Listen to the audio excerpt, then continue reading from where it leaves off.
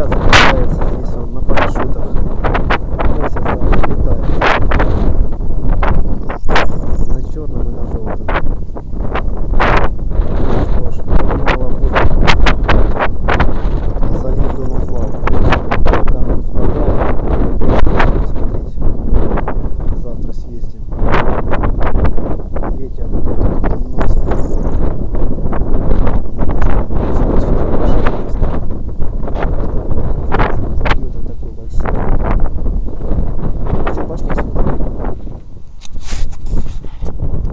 здесь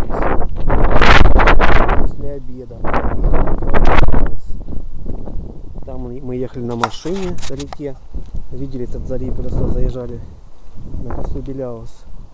Там он люди стоят в палатках все.